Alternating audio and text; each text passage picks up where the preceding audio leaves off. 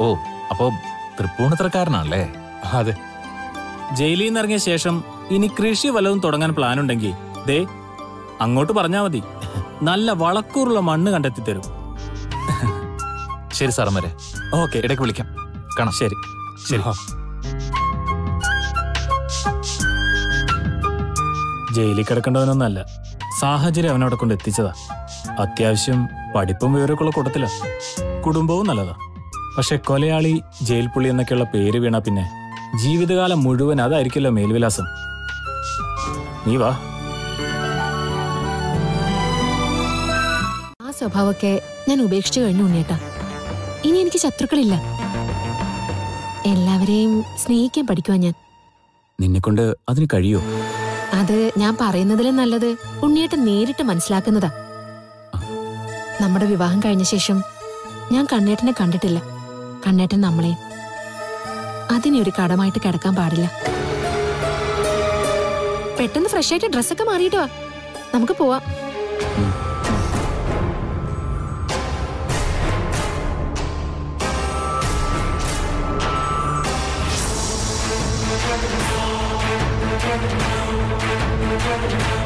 കളിയാക്കാണോ? ഇവിടുന്ന് പോയി കഴിഞ്ഞാൽ പുറത്തിറങ്ങി നിന്ന് ചിരിക്കുവോ? കണ്ണേട്ടൻ എന്ത് പറഞ്ഞാലും ഞാൻ ഇനി ഇവിടെ വരും. കണ്ണേട്ടനെ കാണും. വേണ്ട വേണ്ട വേണ്ട. എനിക്ക് നിങ്ങളൊന്നും കാണേണ്ട കാര്യമില്ല. വിളിച്ചോണ്ട് പോടാ ഇവിടെ അച്ഛൻ ജയിലിലാക്കി. എന്നിട്ട് മകൾ വന്നിരിക്കുന്നു. കാഴ്ച കാണാൻ.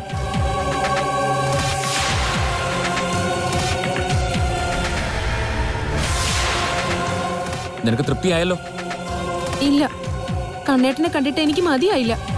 അതുകൊണ്ട് ഇനിയും ഞാൻ വരും.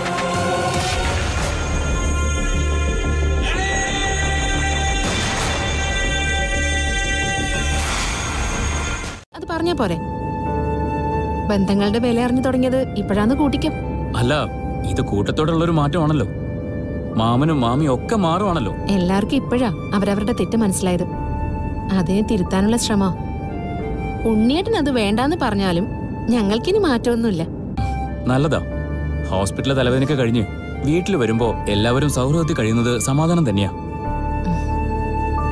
ഇപ്പോഴേ ഏറ്റവും കൂടുതൽ സന്തോഷിക്കുന്നത് പവിത്രയുടെയും കാർത്തുമായിരിക്കും കണ്ണേട്ടന്റെ മനസ്സും ഇപ്പം തണുത്തു കാണും.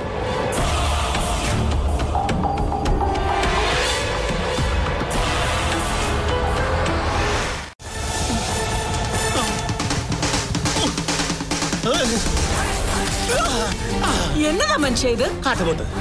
കാട്ടുപോത്ത് വരുന്നു. ഞാനിവിടെ ഇല്ല എന്ന് പറഞ്ഞിട്ട്. കാട്ടുപോത്ത്? ഏ? കാട്ടുപോത്ത്. പിന്നെ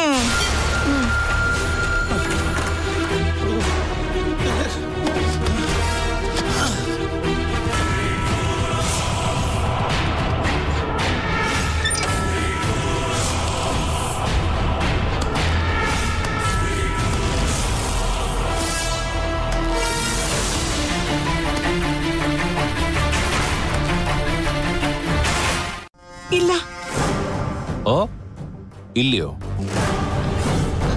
ഉണ്ടോ? അതോ ഇല്ലയോ? ഉണ്ടായിരുന്നു. പിന്നെന്താ? മാഞ്ഞുപോയോ ഒരുപാട് കള്ളം പറയുന്ന കൂട്ടത്തിലാണെന്ന് എനിക്കറിയാം. ഇപ്പൊ പറയുന്നതും കള്ളമാണെന്ന് എനിക്കറിയാം. അങ്ങനെ വരുമ്പോ അകത്ത് കയറി എനിക്ക് തപ്പേണ്ടി വരും.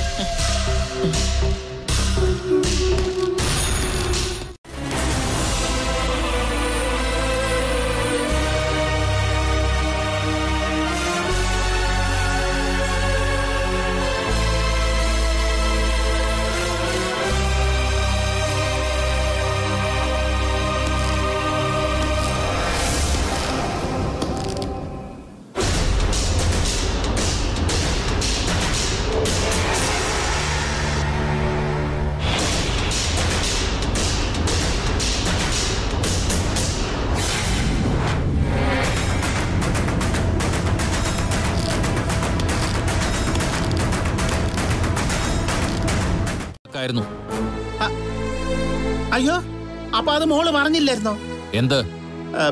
എനിക്കേ എനിക്കൊരു അപകടം ഉണ്ടായി. എന്റെ ജീപ്പ് ഒരു ജീപ്പറുമായിട്ട് കൂട്ടിയിടിച്ചു. കുറച്ചു കാലം ആശുപത്രിയിലായിരുന്നു. അങ്ങനെ ഒരു സംഭവം നടന്നെങ്കിൽ വിജിത പറയേണ്ടതാണല്ലോ. പപ്പയ്ക്ക് അപകടം പറ്റിയ കാര്യം പറഞ്ഞാലേ മോക്ക് കരച്ചിൽ വരും. അതുകൊണ്ട് മറച്ചു പിടിച്ചതായിരിക്കും. രണ്ടാളുടെയും സംസാരം കേട്ടിട്ട് എനിക്കിത് അത്രയ്ക്ക് അങ്ങോട്ട് വിശ്വസിക്കാൻ പറ്റുന്നില്ല.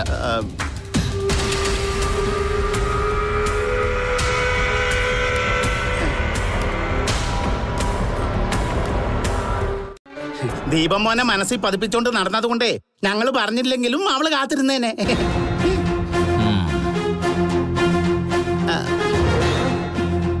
മോനെ. ജ്യൂസ് കൂടി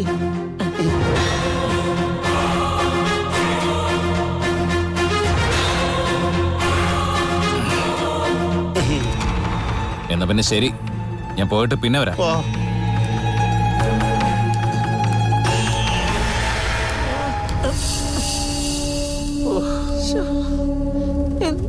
എടി എവന്റെ ഈ ചിരി മായുമ്പോ ഇവിടെ ഒരു കൂട്ടമരണം ഉറപ്പാ. എവിടെയെങ്കിലുമൊക്കെ കാണുമല്ലേ?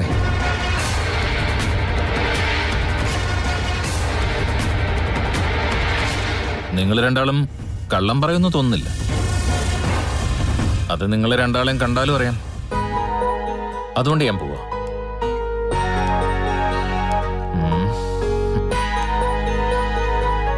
പശുക്കളൊക്കെ ഉള്ള വീടാണല്ലേ? നല്ല ഭംഗിയുള്ള വീട്. ആൾക്കാരും കുഴപ്പമില്ല. അപ്പൊ ശരി.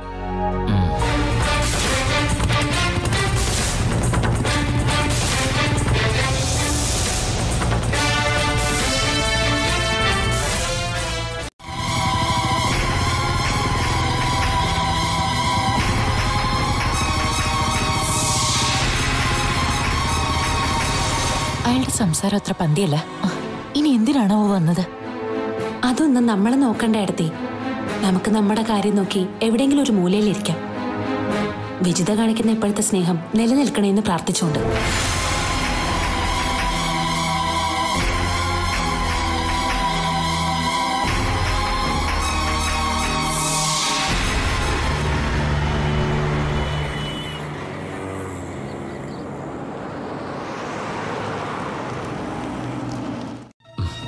ഞാനും ആ അഭിപ്രായക്കാരനാ. ആ അതുകൊണ്ടല്ലയോ വാശി പിടിച്ച് വഴക്കിട്ട് മോനെ ഞാൻ എന്റെ മരുമോനാക്കിയത്. മോനെ അകത്തോട്ട് വിളിച്ചോണ്ട് പോ മോളെ.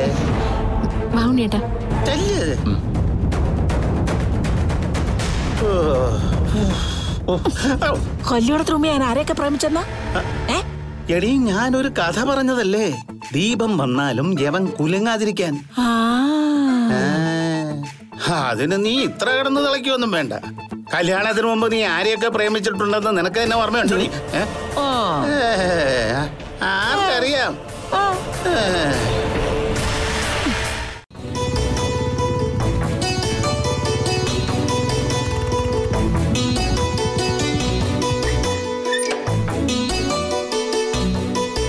നല്ല പെൺകുട്ടിയാ.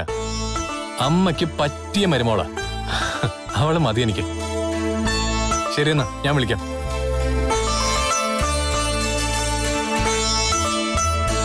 സാറേ. എന്നെ അറിയോ? അറിയാതെ പിന്നെ? കൃഷിയൊക്കെ നോക്കാൻ ഇറങ്ങിയതായിരിക്കും. അതെ. പ്രളയം വന്ന ശേഷം മണ്ണിനാകെ മാറ്റം വന്നിട്ടുണ്ട്. അതുകൊണ്ട് പഴയ സ്ഥിതിയിലെത്താൻ കുറച്ച് സമയം പിടിക്കും. പഴയപടി ഒന്നും ആവില്ല കാര്യങ്ങൾ അതുപോലെ തന്നെ ഓരോരോ മനുഷ്യന്റെ മാറ്റവും സർക്കാരുകൾ മാറി മാറി വരും. പക്ഷേ ആരും മണ്ണിനെ സംരക്ഷിക്കത്തില്ല. അത് നേരാ. പാടം നികത്തരുതെന്ന് പറയുന്നവർ തന്നെ അതേ പാടത്ത് വെട്ടിമൂടി ഫ്ലാറ്റ് പണിയും. അതാ സംസ്കാരം. പിന്നെ ഹൈ റേഞ്ചിലുള്ള പാവങ്ങൾക്ക് പേരിന് വീട് വെച്ചു കൊടുക്കും. ഒന്ന് ഉരുൾ വെട്ടുമ്പോ വീടും വീട്ടുകാരും മണ്ണിനടിയിൽ അതുകൊണ്ട് ദീപം പറഞ്ഞാൽ ശരി. ഇനി പ്രകൃതി അനിയില്ല. മനുഷ്യനെ ഒരു പാഠം പഠിപ്പിക്കുകയുള്ളൂ.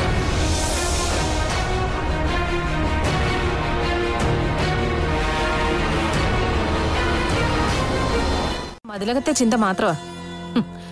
അവിടെയുള്ളവരൊക്കെ ഉണ്ടോ? ഉറങ്ങിയോ? അതൊക്കെയാ ചോദ്യം. ഇത് പറയാനാണോ നീ ഇപ്പം ഇങ്ങോട്ട് വന്നത്? നയനയുടെ മനസ്സിൽ എന്തൊക്കെയോ കയറിയിട്ടുണ്ട് പപ്പേട്ട. കുറ്റം പറഞ്ഞിട്ട് കാര്യമില്ല. കണ്ണേട്ടൻ ചെയ്യില്ല കൂടെ കഴിയേണ്ട ആണുങ്ങളില്ലെങ്കിൽ ആർക്കായാലും ഇങ്ങനെയൊക്കെ സംശയം തോന്നും. ഇനി പരമാവധി വരാതിരിക്കാൻ ശ്രമിക്കാം. ഞങ്ങൾ പോവാ.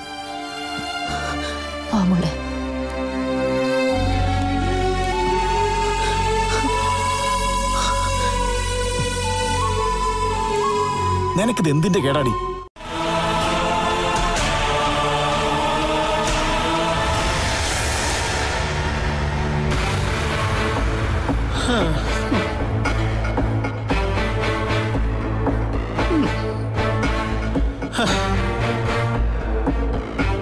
അവനെ എങ്ങനെ കൈകാര്യം ചെയ്യാൻ പറ്റുമെന്ന് ആലോചിച്ചിട്ട് ഒരെത്തും പിടിയും കിട്ടുന്നില്ല. ആ കൃഷി ഓഫീസറെ പോലെ നാലഞ്ചെണ്ണത്തിന് ഒന്നിച്ച് തല്ലാൻ കെൽപ്പുള്ളവന് അവനെ തട്ടിക്കളയേ നിവൃത്തിയുള്ളൂ. അതിനു മുമ്പ് പരമാവധി സ്നേഹിക്കണം. അവന്റെ അടിമയെ പോലെ നിൽക്കണം അവൻ മുമ്പിലോട്ട് വന്ന അവൻ പറയുന്നതൊന്നും കേൾക്കാൻ നിൽക്കരുത്.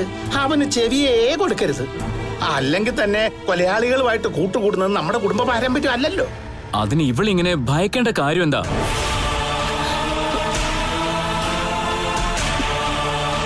കൊലയാളിയായ ഒരുത്തനെ കണ്ട ഭയക്കണ്ടായോ മോനെ? അവൻ എന്റെ പിന്നാലെ നടന്നപ്പോ ഞാൻ അവനോട് തറപ്പിച്ച് പറഞ്ഞു ഗുണ്ടകൾ എന്ന് എനിക്ക് വേണ്ടാന്ന്. അപ്പൊ അവൻ തിരിച്ചു പറഞ്ഞ എന്താന്നറിയോ? പെട്രോൾ ഒഴിച്ച് എന്നെ കത്തിക്കൊന്ന് എന്റെ പൊന്നുമോനെ പറഞ്ഞാ പറഞ്ഞ പോലെ ചെയ്യുന്നവനാ. ഇന്ന് നിങ്ങളെ രണ്ടുപേരെ ഒന്നിച്ചു കണ്ടിരുന്നെങ്കിൽ അവൻ രണ്ടുപേരെയും കത്തിച്ചേനെ.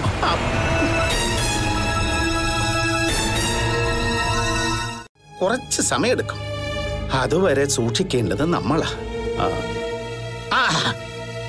നേരത്തെ വന്നപ്പോഴേ ഒരു സമ്മാനം തരണമെന്ന് കരുതിയിരുന്നു. മറന്നുപോയി. വന്നേ. വന്നേ വന്നേ. വന്നേ. ഒരു സമ്മാനം ഞാൻ തരുന്നുണ്ട്. അവൻ നിന്നെ കണ്ടൊന്നുമില്ലല്ലോ മോളെ. കണ്ടില്ല. പക്ഷെ ഞാൻ കണ്ടു. അവൻ മറ്റവനുമായിട്ട് സംസാരിച്ചോടെ നിൽക്കുന്നു. ആരുമായിട്ട്? ആ കൃഷി ഓഫീസറുമായിട്ട്. അവർ കൂട്ടുകാരാണെന്ന് തോന്നുന്നമ്മേ ചതിച്ചോ ദേവി? മൊത്തത്തിൽ ചതി പറ്റി. ഇനി എന്തൊക്കെ സംഭവിക്കുമെന്ന് ദൈവത്തിനെ അറിയാം. വൃശ്ചികം. എല്ലാ മാസവും മാമന്റെ വക പാരിതോഷികം ഉണ്ടാവും. പിന്നെ മോൻ ഏതോ ഒരു രോഗിക്ക് ഇഞ്ചക്ഷൻ കൊടുത്തിട്ട് മരുന്ന് മാറിപ്പോയി എന്നൊരു പരാതി വന്നിട്ടുണ്ട്. പഠിത്തം കഴിഞ്ഞ് ഇറങ്ങിയെങ്കിലും പരിചയക്കുറവുണ്ടല്ലോ. അതുകൊണ്ട് എം ഡിയുടെ കസരയിൽ തന്നെ ഇരിക്കുന്നതായിരിക്കും നല്ലത്. ഇനി ഇടയ്ക്കിടയ്ക്ക് ആർക്കെങ്കിലും ഇഞ്ചക്ഷൻ കൊടുക്കണമെന്ന് തോന്നുമ്പോ ആ കൃഷി ഓഫീസറെ പോലുള്ള ശത്രുക്കൾ ആരെങ്കിലും വരും. അവർക്ക് മരുന്ന് മാറ്റിയോ മരുന്ന് കൂട്ടിയോ ഇഞ്ചക്ഷൻ കൊട്. നിന്നെ വിഷമിപ്പിക്കാൻ വേണ്ടി പറഞ്ഞല്ല കേട്ടോ? മോന്റെ നന്മയാണ് മാമന്റെ സന്തോഷം. മോൻ വാ. മതിലകത്തെ പുതിയ മരുമകൾക്ക്. ഞങ്ങൾക്കും അറിയില്ല കണ്ണേട്ടാ ഇപ്പോഴവൾക്ക് ഞങ്ങളോടൊക്കെ വലിയ സ്നേഹമാ കുടുംബക്ഷേത്രത്തിലെ ദേവിയെ സ്വപ്നം കണ്ടു എന്നൊക്കെയാ പറയുന്നത്. അല്ല അതൊന്നും ഞാൻ വിശ്വസിച്ചിട്ടില്ല. മറ്റെന്തോ ഇടയ്ക്ക് സംഭവിച്ചിട്ടുണ്ട്.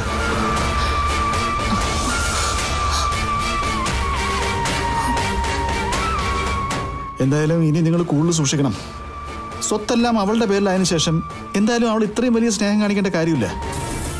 അപ്പോൾ എന്തോ അവൾ മനസ്സിൽ ഉദ്ദേശിച്ചിട്ടുണ്ട്. ശത്രുക്കൾ സ്നേഹം കാട്ടി കൂടെ കൂടുന്നത് അപകടത്തിന് തന്നെയാ. കഴിഞ്ഞ ദിവസം ഒരാൾ വന്ന് വിജിതെ തിരക്കിട്ട് പോയി.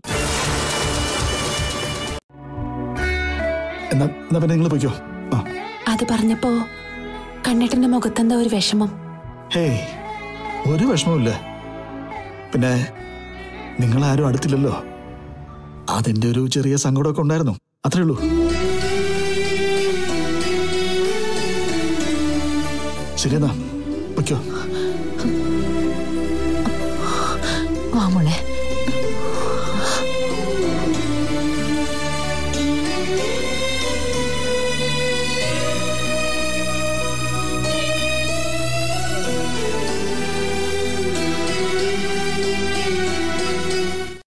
അപ്പച്ചിക്ക് എന്തെങ്കിലും നഷ്ടമുണ്ടോ? എന്ന് ചോദിച്ചാ അവളുമാരുടെ മോന്ത എന്നും കാണുന്നതാ എന്റെ നഷ്ടം. തിരിച്ച അവർക്കും അങ്ങനെ തോന്നിയാലോ? മോളും എന്നെ കൊച്ചാക്കാൻ തുടങ്ങിയോ? ഞാൻ കൊച്ചാക്കിയതൊന്നും അല്ല ഏത് നേരം അവരുടെ കാര്യം ചോദിച്ച് അപ്പച്ചി എന്നെ ഇങ്ങനെ ശല്യം ചെയ്യരുത്.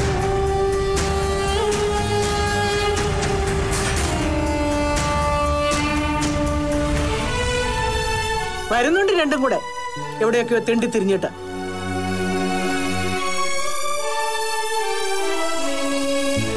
ഞങ്ങൾ തെണ്ടിത്തിരിയാനല്ല പോയത്. അമ്മയുടെ മൂത്ത മോനെ കാണാനാ.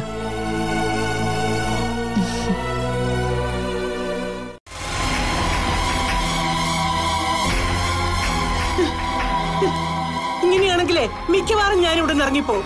എനിക്കിതൊന്നും കണ്ടോണ്ട് നിൽക്കാൻ പറ്റില്ല.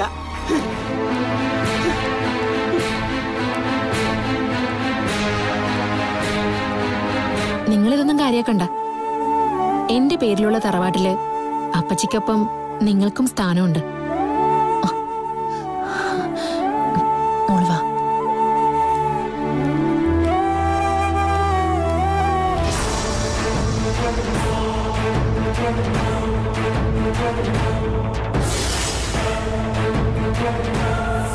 നിന്നെ വിളിച്ചിട്ട് കാര്യമില്ലെന്ന് തോന്നി. അതുകൊണ്ട് എന്നെ വിളിച്ച സങ്കടങ്ങൾ പറഞ്ഞത്. അവിടെ കുറച്ച് പ്രശ്നമുണ്ടടാ. ഞാൻ അവിടെ ഒരാഴ്ച തികച്ചു നിന്ന എന്റെ കല്യാണം ഉറപ്പാ. ഓണത്തിന് തന്നെ അവിടുന്ന് മുങ്ങാൻ പറ്റ പാടാ എനിക്കറിയാം. അമ്മ ഉറക്കം എഴുന്നേക്കുന്നതിന് മുമ്പേ ഞാൻ അവിടുന്ന് പോരുമായിരുന്നു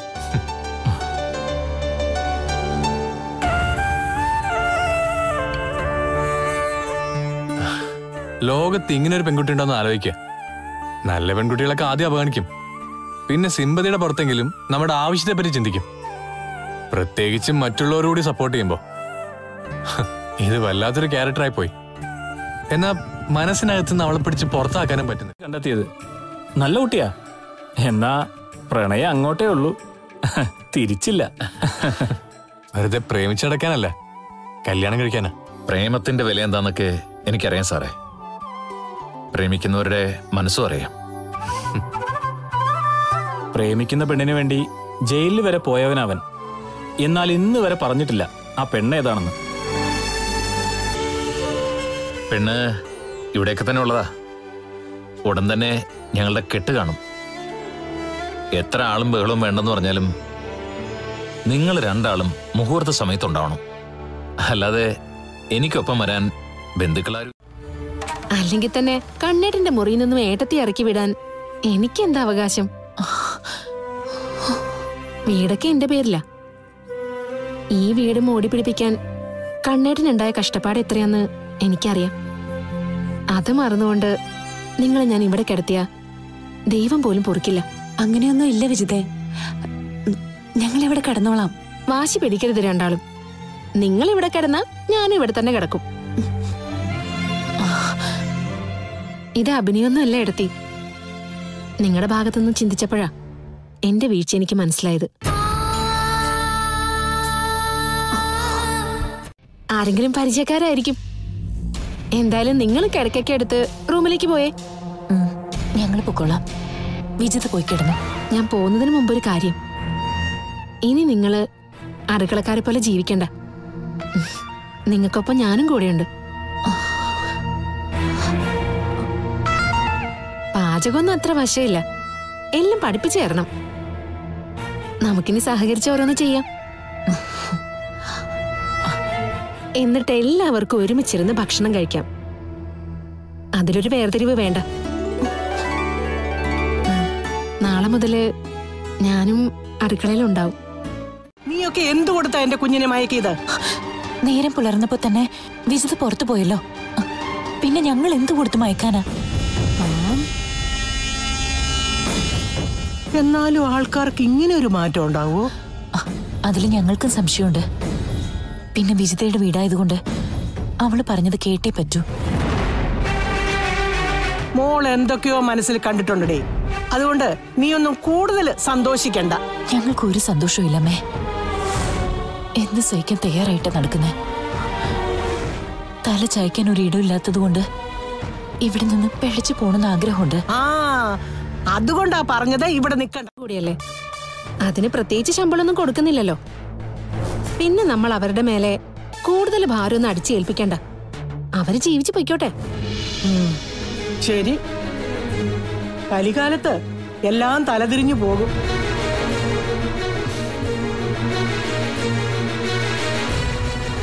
നീ ഇപ്പൊ പറഞ്ഞത് ശരി. പക്ഷെ ഓന്തിനെ പോലെ ആവരുത്. നാളെ നിറം മാറരുത്. ഇനി എനിക്ക് അങ്ങനെ മാറ്റമൊന്നും ഉണ്ടാവില്ല.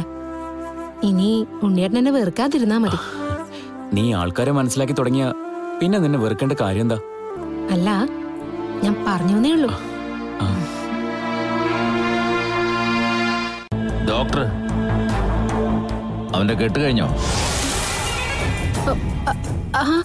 കഴിഞ്ഞു. അല്ല നിന്റെ വീട്ടിൽ വന്നപ്പോ നിന്നെ കണ്ടില്ല. കള്ളക്കരുണന്റെയും കെട്ടികളുടെ സംസാരത്തിൽ പന്തികേട് തോന്നിയോണ്ട് ഞാൻ അവിടെ വന്നിരുന്നു. അപ്പൊ നീ അവിടെയും ഇല്ല മുങ്ങി നടക്കുവാണോടി? അല്ല. നമുക്ക് ഉടനെ കാണാം. കാണണം. കണ്ടേ തീരൂ. എന്നാ ശരിയടി. ഇവിടെ കുറച്ചു ദിവസം താമസിക്കാൻ വന്ന മോളുടെ അമ്മയും വലിയമ്മയും ഇവിടുന്ന് പറഞ്ഞു വിടുന്നു. മൊത്തത്തിലൊരു പൊരുത്തക്കേടുണ്ടല്ലോ. ചെറിയ ചില വിഷമങ്ങളൊക്കെ ഉണ്ട്. അതുകൊണ്ട് നാളെ ക്ഷേത്രത്തിൽ പോണെന്ന് പറഞ്ഞു. എന്നാ പിന്നെ രാവിലെ തന്നെ പോയേക്കാം.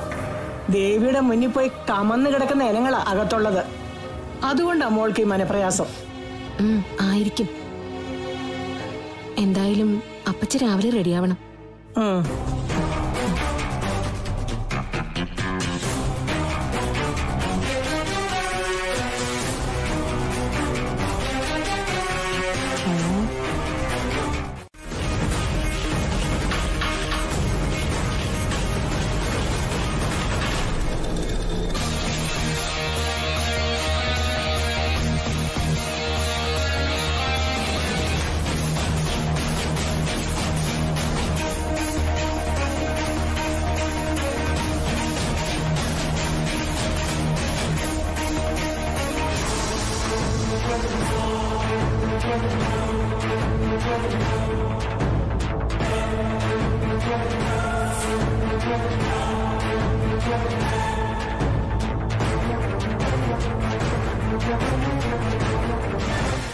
തറവാടിന്റെ പടി കടന്നു പോണേ.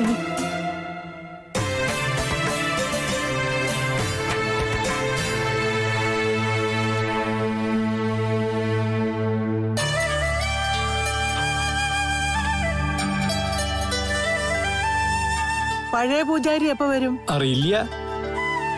ഉള്ളത് പറയാലോ. അദ്ദേഹം ഉള്ളപ്പോ ഒരു ഐശ്വര്യമൊക്കെ ഉണ്ടായിരുന്നു. ദേവിക്ക് ചൈതന്യം വരണമെങ്കിൽ പൂജിക്കുന്നവർക്ക് നല്ല ഭക്തി ആത്മാർത്ഥത ഒക്കെ വേണം. അപ്പച്ചിങ് വന്നേ. അതെ ദൈവത്തിനോടാണെങ്കിലും പറയാനുള്ളത് ഞാൻ പറയും. അങ്ങനെയുള്ള ജാതകക്കാരിയ കാർത്തു എന്ന കൈപ്പുള്ള പെണ്ണ്. ഞാൻ അതിനെപ്പറ്റി എന്തെങ്കിലും ചോദിച്ചോ? മുമ്പൊരു ദിവസം കണ്ടപ്പോ എനിക്ക് പറയാനുള്ളതൊക്കെ ഞാൻ പറഞ്ഞാണല്ലോ പിന്നെ അതേപ്പറ്റി ഒരു ചർച്ചയുടെ ആവശ്യമില്ല. നന്നാവാൻ വേണ്ടി പറഞ്ഞതേ ഉള്ളൂ. പിന്നെ കാലനും ഉണ്ടല്ലോ കാലദോഷം. ഞാൻ അമ്പലത്തിൽ വന്നതേ. മനസമാധാനായിട്ടൊന്ന് പ്രാർത്ഥിക്കാനാ.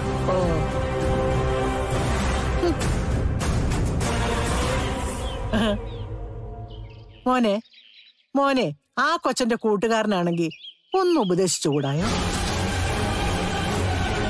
ഇവനും അസുരഗണമാണെന്നാ തോന്നുന്നത്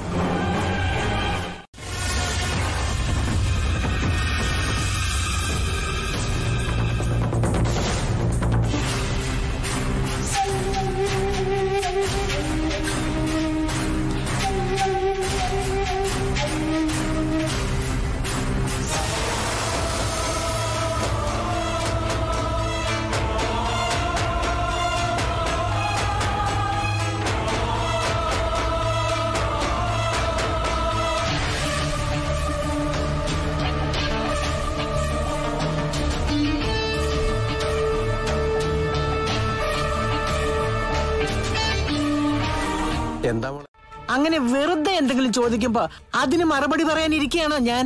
പിന്നെ എന്നെ കാണുമ്പോ ഓടി അരികിലേക്ക് വന്നിട്ട് കാർത്തൂന്റെ കാര്യം പറയുന്ന എന്തിനാ? അത് തന്റെ നന്മയ്ക്ക് വേണ്ടിയാ.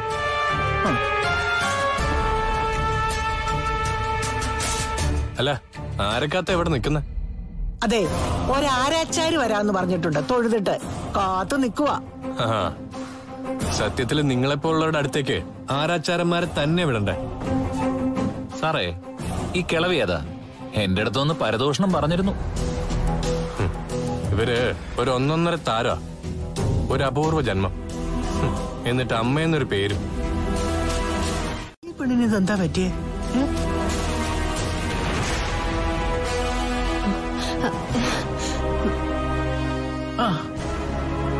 മോളെ മോളെ ഇത്ര നേരം തൊഴുവായിരുന്നോ? എന്റെ അപ്പച്ചി തൊഴുതു. ഇപ്പോഴെനിക്ക് തൃപ്തി കിട്ടിയത്. ദേവിയെ ശരിക്കും മനസ്സിലേക്ക് ആവാഹിച്ചു. മോൾ പഴയ മോളല്ല ഒരുപാട് മാറിപ്പോയിട്ടുണ്ട്. ഉം, ഇനിയും മാറും. ഒരുപാട് ഒരുപാട്. മോൾ വാ നമുക്ക് പോകാം. വാ.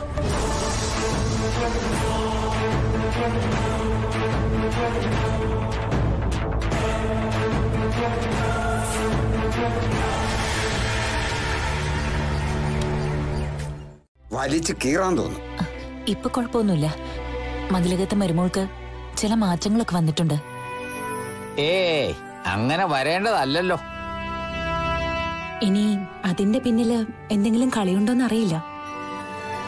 എന്തായാലും കഴിഞ്ഞ ദിവസം മുതൽ ഇച്ചിരി ആശ്വാസമുണ്ട്. മോളെ സൂക്ഷിക്കണം. കണ്ണേട്ടന്റെ കാര്യങ്ങളൊക്കെ അറിയാമല്ലോ ഞങ്ങൾ അതൊക്കെ പ്രതീക്ഷിച്ച് തന്നെയാ നിൽക്കുന്നത്. പത്ത് രണ്ടായിരം രൂപയ്ക്ക് ഒരു വാടക വീട് കിട്ടുമെങ്കിൽ ഒന്ന് നോക്കി വെച്ചേക്ക്. അവിടുന്ന് ഇറങ്ങേണ്ടി വരുമ്പോ കയറി താമസിക്കാൻ ഒരു കൂര വേണമല്ലോ.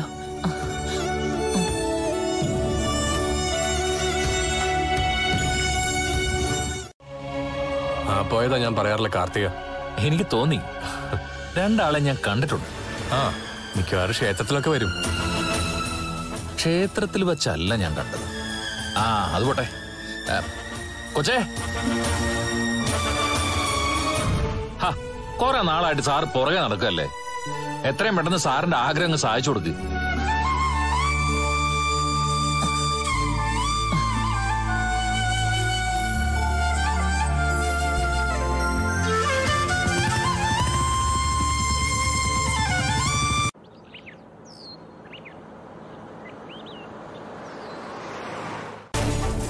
ഓ അപ്പച്ചിക്ക് എന്നോട് ദേഷ്യമാണോ പിന്നെ ഇങ്ങനെയൊക്കെ കാണിച്ച ദേഷ്യം വരത്തില്ലേ? അവളുമാരെ ഒതുക്കണമെന്ന ഉദ്ദേശത്തോടു കൂടിയാ മോളെ ഞാൻ മരുമോളാക്കിയത്. എന്നിട്ടിപ്പോ ഞാൻ പുറത്തായി. തൽക്കാലം ഇങ്ങനെയൊക്കെ പോയേ പറ്റൂ അപ്പച്ചി. അപ്പച്ചി എന്നോട് ക്ഷമിക്കും.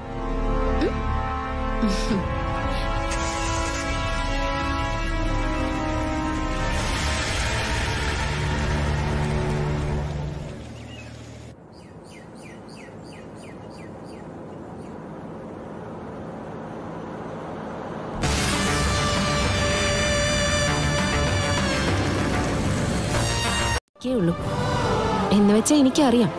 ആ കുടുംബത്തിന് വേണ്ടി നിങ്ങളൊക്കെ എന്തുമാത്രം കഷ്ടപ്പെട്ടിട്ടുണ്ടെന്ന്. നന്ദി കേട്ടവന്മാര് നീയൊക്കെ പണിയുന്ന പറമ്പിലെ പുല്ല് പോലും കിളക്കത്തില്ല. അത് നിങ്ങൾ തന്നെ പറയണം കണ്ണേട്ടന്റെ അമ്മേ. ഈ നാട്ടിൽ ആ മണ്ണീന്ന് കളിച്ചെടുത്തതിന്റെ അപ്പുറം ഒന്നും ആരും കളിച്ചെടുത്തിട്ടില്ല. അത് ഞങ്ങളുടെ കൂടെ അധ്വാനമാ. അധ്വാനികൾ. അതുകൊണ്ടായിരിക്കും രണ്ടു മൂന്ന് വർഷം കുത്തി കളച്ചുണ്ടാക്കിയതൊക്കെ വെള്ളം കൊണ്ടുപോയത്.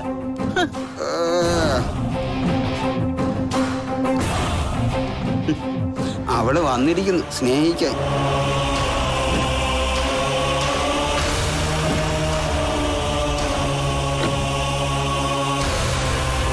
തെറ്റുകൾക്ക് പ്രായശിത്തം ചെയ്തു തുടങ്ങി നിനക്ക് അതങ്ങ് തുറന്നു പറഞ്ഞൂടെ? ചെയ്യാത്ത കാര്യങ്ങൾ ഞാൻ എന്തിനാ ഉണ്ണേട്ടാ ചെയ്തെന്ന് പറയുന്നത്? ഞാൻ എന്റെ സ്വഭാവം മാറ്റിക്കൊണ്ടിരിക്കുന്നത് ശരിയാ. എന്ന് വെച്ച് ചെയ്യാത്ത കുറ്റം എന്റെ പപ്പയുടെ തലയിൽ അടിച്ചേൽപ്പിക്കില്ല. ശരി. അതിന്റെ പേരിൽ ഞാൻ ഇനി ഒരു വഴക്കിനില്ല. കണ്ണടൻ എത്രയും പെട്ടെന്ന് മടങ്ങി വരണം. ഈ വീട്ടിലെ കാരണവരായി തുടരണം. നമ്മുടെ കല്യാണം കഴിഞ്ഞ ശേഷം എനിക്ക് അങ്ങനെ ഒരു ചിന്തയില്ലായിരുന്നു. കണ്ണേട്ടൻ ഇനി ഇങ്ങോട്ട് വരരുതെന്ന് പോലും ചിന്തിച്ച സമയമുണ്ടായിരുന്നു. നിന്റെ സ്വഭാവത്തിന് മാറ്റം വന്ന ശേഷമാ ആ ഭയം അങ്ങ് നീങ്ങിയത്. വീടും പറമ്പുമെല്ലാം കണ്ണേട്ടിന്റെ പേർക്ക് എഴുതി കൊടുക്കാം. പിന്നെ അധികാരത്തോടെ കണ്ണേട്ടൻ ഇവിടെ കഴിഞ്ഞു ഇപ്പൊ എനിക്ക് സ്വത്തിനോട് ഒരു മോഹമില്ല അതിലൊന്നും വലിയ കാര്യമില്ലെന്ന് മനസ്സിലായി. പരസ്പരം സ്നേഹത്തോടെ ഒത്തൊരുമയോടെ കഴിയുക. അതിൽ നിന്നും കിട്ടുന്ന മനസമാധാനം വേറെയില്ല അതെ ഞാൻ കുറച്ചു ദിവസം വീട്ടിൽ പോയി നിന്നാലോ എന്ന് ആലോചിക്കുക നീ എന്നെ ഇങ്ങനെ സ്നേഹിക്കുമ്പോ വിട്ടു നിൽക്കുന്ന വിഷമം. ഉണ്ണേട്ടൻ അങ്ങോട്ടും വരാലോ? എന്നാ പിന്നെ പൊയ്ക്കോ. ഞാൻ തടയുന്നില്ല. അച്ഛന്റെ അമ്മയുടെ അരികിലേക്കാ പോകുന്നത്. ഉണ്ണിയേട്ടൻ എന്തെങ്കിലും ആവശ്യമുണ്ടോ? പറഞ്ഞാ മതി. വാങ്ങിത്തരുന്ന കാര്യം ഞാൻ ഏറ്റു ഒന്നും വേണ്ട. നീ എന്റെ അനുസരണയുള്ള ഭാര്യയായി ഇതുപോലെ അങ്ങ് ജീവിച്ചാ മതി. മണ്ണിനൊപ്പം ചേരും. എന്നാൽ അതിനു മുമ്പ് ചെയ്തു പോയ പ്രവർത്തികൾക്കെല്ലാം പിഴ ഒടുക്കിട്ടെ ഇവിടുന്ന് പോകാൻ പറ്റൂ. അന്ന് അന്ന് ചിലപ്പോൾ നിങ്ങൾ എന്നോടെങ്കിലും പറയും നടന്ന കഥ ആ കഞ്ചാവ് വന്ന വഴിയും.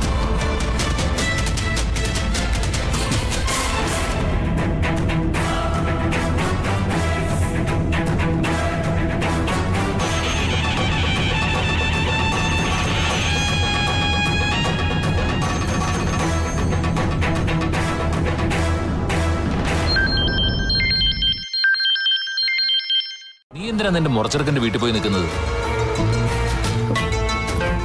വാക്കിന് വ്യവസ്ഥയില്ലാത്ത ആ അബ്കാരി കരുണം പറഞ്ഞോ? നിനക്കിനി ഡോക്ടർ മതിയെന്ന്? അങ്ങനെയാണെങ്കിൽ അവനൊരു ഭാര്യ ഉണ്ടാവും. അതൊരിക്കലും നീ ആയിരിക്കില്ല. ഏതായാലും കൊലയാളി എന്നൊരു പേരുണ്ട് എനിക്ക് ഇനിയൊരു മരണം കൂടി നടന്നാലും അതിനപ്പുറം ഒരു പേര് കിട്ടാനില്ല. ഞാൻ എന്റെ വീട്ടിലുണ്ട്. ദീപേട്ടൻ ഇങ്ങോട്ട് പോരെ. ആ അങ്ങനെ വഴിക്ക് വാടി മോളെ. ഞാൻ ദേ വന്ന് കഴിഞ്ഞു.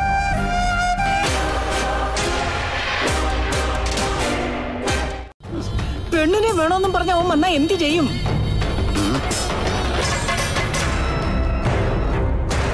അതിനു മുമ്പ് അവനെ തട്ടണം. ഇരുചെവി അറിയാതെ.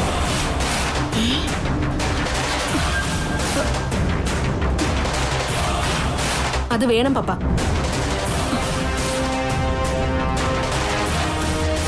എത്രയെന്ന് വെച്ച സിന്ദൂരം തുടച്ചു കളഞ്ഞ് താലി മാലി എടുത്തു മാറ്റിയിട്ട് നടക്കുന്നത്. മിക്കവാറും ഞാൻ പ്രഷർ വന്ന് വീഴാനുള്ള സാധ്യതയുണ്ട്. അപ്പൊ ഞങ്ങളോ? ഇപ്പൊ പോയെന്ന് ടെസ്റ്റ് ചെയ്ത് നോക്കണം. അപ്പൊ പ്രഷറൊക്കെ തോന്നിയപടിയായിരിക്കും മനുഷ്യൻ അറ്റാക്ക് വന്ന് ചാകുന്നതിന് മുമ്പ് ഇതിനൊരു പരിഹാരം കണ്ടേ പറ്റൂ. വടി. എന്നാ പിന്നെ ചെല്ലും മോളെ.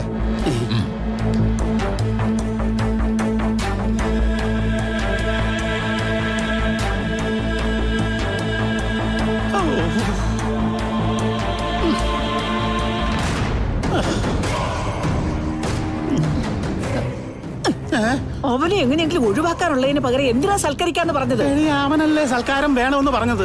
നീ വായിക്ക് രുചിയായിട്ട് എന്തെങ്കിലും ഉണ്ടാക്കി കൊടുക്കും. നിങ്ങളോട് വാ. സവാള ഒക്കെ അരിഞ്ഞതാ സവാള എറിഞ്ഞാ ഞാൻ കരയും. അല്ലല്ലോ നിങ്ങൾ കൊറേ നോക്കിക്കോ.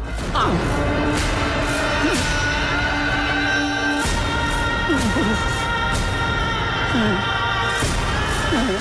പിന്നെ ഇങ്ങനെ ഒരു മാറ്റം ഉണ്ടാവോ? നമ്മളൊക്കെ ഊണിലും ഉറക്കത്തിലും ആ ദേവിയെ വിളിക്കുമല്ലേ പിന്നെ എത്രയെന്ന് വെച്ചാ കണ്ണ് തുറക്കാതിരിക്കുന്നെ. ഞാനിപ്പോ അത് മാത്രമേ പ്രാർത്ഥിക്കുന്നുള്ളൂ അടുത്തി വരും ദിവസങ്ങളിലും വിജിത ഈ രീതിയിൽ തന്നെ മുന്നോട്ട് പോണേന്ന്. എന്നും അടിയും ആയാ എത്ര നാൾ പിടിച്ചു നിൽക്കാൻ പറ്റും? ഒന്നാമത് അടിയും ഒന്നും ഇല്ലാതിരുന്ന വീടായതുകൊണ്ട് അതൊന്നും എനിക്ക് പരിചയമില്ല.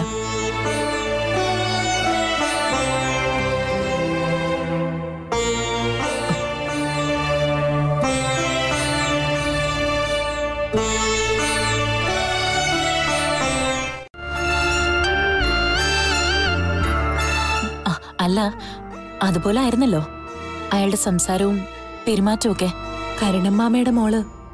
എന്തായാലും പെട്ടെന്നൊരു സുപ്രഭാതത്തിൽ മാറില്ല. ഇത് ദേവി തന്നെ ഇടപെട്ടതാ. എന്തോ ഒരു ഭയം വിജിതയുടെ ഉള്ളിലുണ്ട്. അത് ചിലപ്പോ നമ്മൾ ചിന്തിക്കുന്ന പോലെ ആ ബുള്ളറ്റിൽ വന്ന ആൾ തന്നെ ആവാം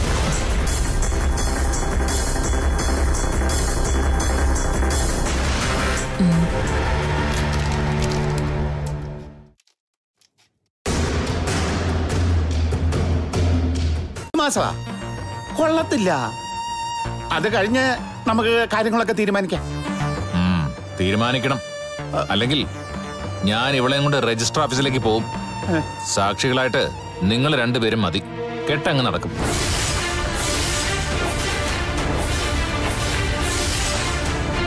ഇവൾക്ക് കെട്ടുപ്രായം കഴിഞ്ഞു. എനിക്കും. പിന്നെ ഇനി അത് വെച്ച് താമസിപ്പിക്കേണ്ട കാര്യം എന്താ? എന്നാലും ഒരു തയ്യാറെടുപ്പൊക്കെ വേണ്ടേ? എനിക്ക് എന്റെ വീട്ടിലേക്ക് പോകാൻ പറ്റത്തില്ല. ആരെയും കാണാനും.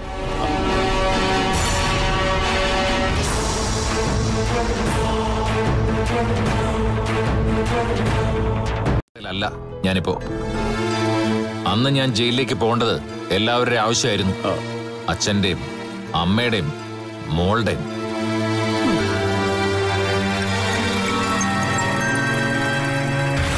അതുകൊണ്ട് അന്ന് കാണിച്ച സ്നേഹത്തിന് ആത്മാർത്ഥത ഉണ്ടായിരുന്നു പിന്നീടാ എല്ലാം കുറഞ്ഞു കുറഞ്ഞു വന്നത്.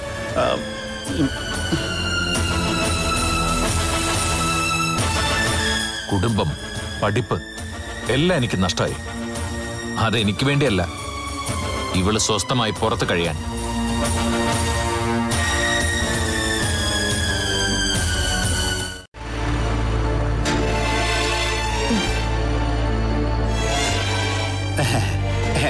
പിന്നെ ഇറങ്ങുവാണോ എന്താത്ര ധൃതി എന്നാ പിന്നെ ദീപുവിനെ മുകളിലോട്ട് കൊണ്ടുപോ മോളെ വാ ദീപോട്ടാ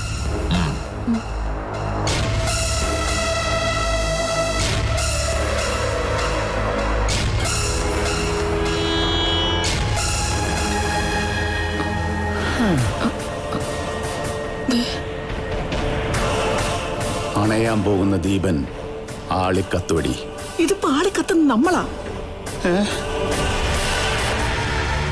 അതെന്താ അങ്ങനെ? അത് വ്രതവാ വിജിതമോക്ക് വ്രതവാ വ്രതമോ? എന്നിട്ട് അതിനെപ്പറ്റി അവൾ എന്റെ അടുത്തൊന്നും പറഞ്ഞില്ലല്ലോ. ഇതേ ഭർത്താക്കന്മാർ അറിയാതെ എടുക്കുന്ന വ്രതവാ. അവൾക്ക് എന്തൊക്കെയോ മാറ്റങ്ങളുണ്ട് മാമ.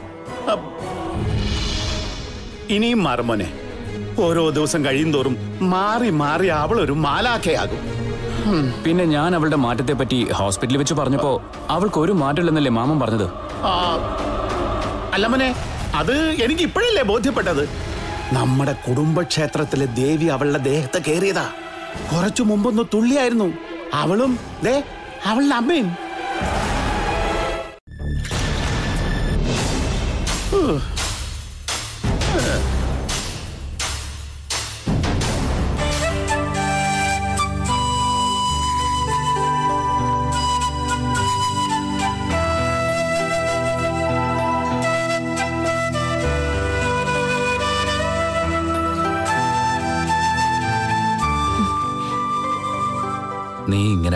അരികിലിരിക്കുമ്പോ സത്യം പറഞ്ഞ ഒരു സമാധാന. നീ എനിക്ക് വേണ്ടി ഇത്രയും നാൾ കാത്തിരുന്നെന്ന് ഓർക്കുമ്പോൾ ഞാൻ പറഞ്ഞല്ലോ എനിക്ക് അതിനേക്കാൾ ആശ്വാസം നിന്നോട് ബഹുമാനവും തോന്നാ. പിന്നെന്താ പ്രശ്നം? നീ വാ. ഞാനേ തല മസാജ് ചെയ്തിരുന്നത് മുമ്പൊക്കെ ദീപോട്ടിന് വലിയ ഇഷ്ടമായിരുന്നില്ലേ ഇന്ന് എന്റെ കുട്ടനെ തലയൊക്കെ ഒന്ന് മസാജ് ചെയ്തുതരാം.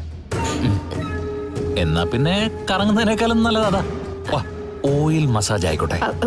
ഓയിൽ വേണ്ട. വെറുതെ കൈ കൊണ്ട് ഇങ്ങനെ ചെയ്യില്ലേ? ആയിക്കോട്ടെ. അപ്പൊ ഞാനേ വാതിലടക്കട്ടെ?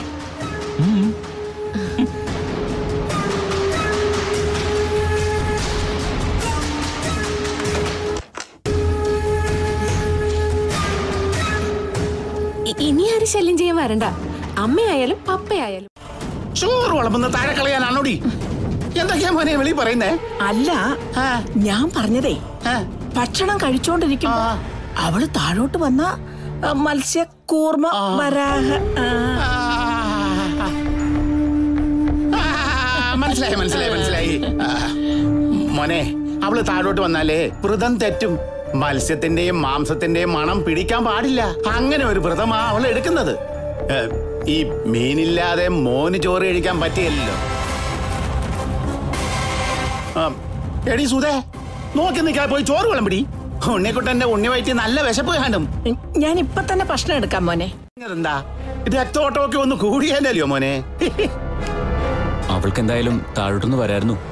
ആ, ഇനി കുറച്ചു ദിവസം ഇങ്ങനെയൊക്കെ ആയിരിക്കും മോനെ. എന്തിനാ വ്രതം എടുക്കുന്നത്? ഒരു കാലൻ ഒഴിഞ്ഞു പോകാൻ.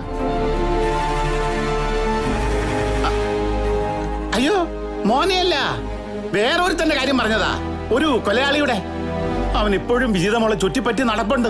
ഒഴിയാബാധയായിട്ട് അവന്റെ ശല്യം തീരാനാ മോൾ അതിതീവ്രമായ വ്രതം പിടിക്കുന്നത്. നിഷ്കളങ്കരായ പതിവ്രതകളായ പെൺകുട്ടികൾ വ്രതം പിടിച്ചാലേ പല പിന്നെ കുറച്ചു കാലം കഴിയുമ്പോൾ ഇതൊക്കെ എല്ലാവരും അങ്ങ് മറക്കും. നമ്മൾ നന്നായി ജീവിച്ച് കാണിച്ചു കൊടുക്കുമ്പോൾ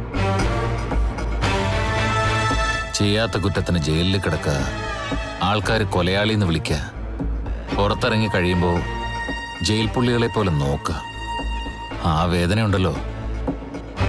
അനുഭവിക്കുന്നവർക്ക് അതിന്റെ പെടച്ചിലറിയൂ. എന്റെ ഹൃദയവും പെടയോ ആ പെടച്ചിൽ ദൈവത്തിന് മാത്രമേ അളക്കാൻ പറ്റൂ. വെറുതെ കൈകൊണ്ടുള്ള മസാജ് മതി. ഇനി നമുക്കേ കുറച്ചൊരു എണ്ണ ഇട്ട് മസാജ് ചെയ്യാം. എന്താ? ചെയ്യാം.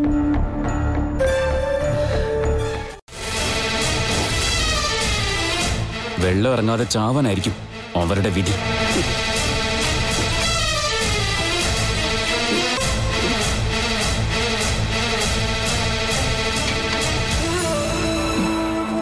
മോടെ വ്രതം ഒന്ന് കഴിഞ്ഞോട്ടെ. എല്ലാ പ്രശ്നങ്ങൾക്കും ശമനം ഉണ്ട് അല്ല മോൻ കഴിക്കേ. കഴിക്കേ.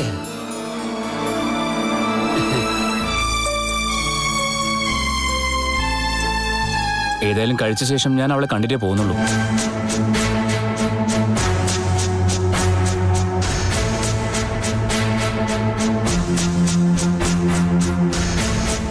സുധേ മോൻ പറഞ്ഞത് കേട്ടോ. നമ്മൾ കള്ളം പറയുവാന്ന്.